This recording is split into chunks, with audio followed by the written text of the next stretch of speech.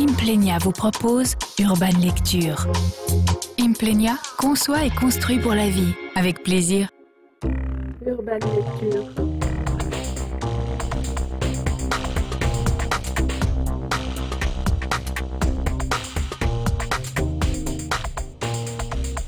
Urban Lecture.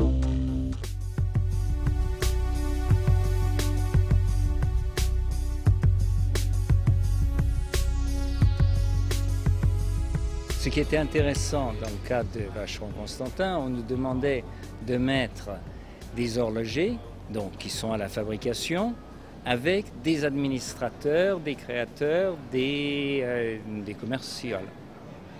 Et nous nous sommes dit, on ne va pas exprimer cette séparation entre l'école blanc et l'école bleue, on va les mettre sous un seul toit.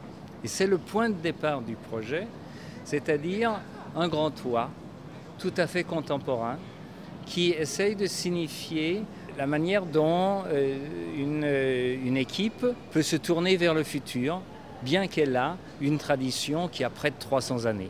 L'enveloppe ne fait pas partie d'une symbolique traditionnelle, puisque les enveloppes de ce type, ça n'existait pas et, auparavant.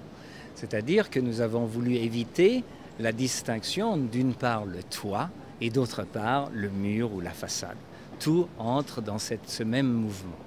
Donc immédiatement une dynamique, immédiatement quelque chose qui se projette vers l'avant, euh, à l'opposé d'un bâtiment statique euh, connu.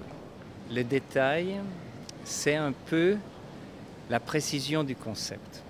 Une architecture, ça commence par une idée, ça commence par justement un concept. Ensuite, il faut matérialiser ce concept. Mais pour arriver vraiment à l'expression la plus précise, c'est dans le détail qu'on le fait. Et à Vacheron-Constantin, nous avons utilisé simplement trois matériaux principaux, qui ont été le métal, le verre et le bois. Et chacun de ces matériaux a son rôle particulier. Le métal, c'est donc cette grande enveloppe. Le bois, c'est l'enveloppe intérieure. C'est un peu comme la doublure de son vêtement. Et le verre, c'est toutes les circulations.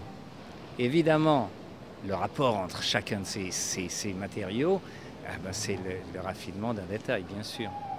S'il y avait d'un côté la manufacture et de l'autre côté les gens qui travaillent, les administrateurs, il fallait un point commun qui était, qui est devenu ce grand atrium entièrement en avec les passerelles qui sont vraiment des coursives en verre et un, ascenseur, je pense un des plus beaux qu'il y ait, qui est, qui est suspendu dans les airs et qui monte, qui descend, avec en face deux escaliers qui s'entrecroisent et qui donnent une ambiance absolument magique à ce lieu.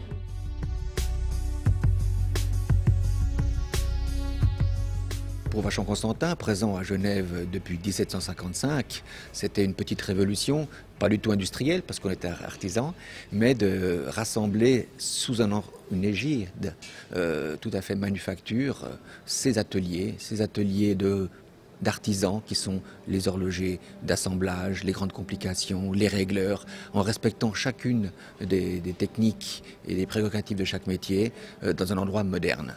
Le principal ennemi de l'horloger est la poussière. Donc il fallait que l'ensemble des horlogers vivent dans un endroit propre, mais qui ne soit pas aseptisé, dans lequel ils puissent vivre tout de même se déplacer, aller, aller à droite et à gauche, euh, discuter également entre eux pour ne pas cloisonner les personnes. Ce que nous avons réussi en faisant justement des corridors et des espaces ouverts où de nouveau et la lumière et l'humidité étaient, euh, étaient préservés.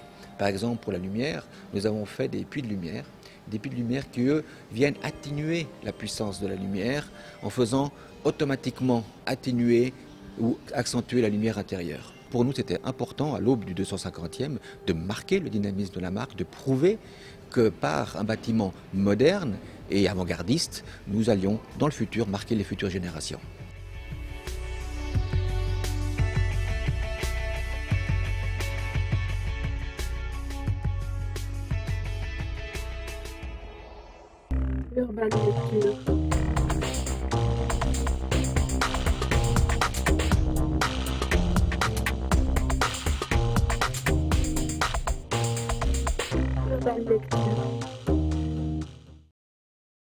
Implenia vous a proposé Urban Lecture.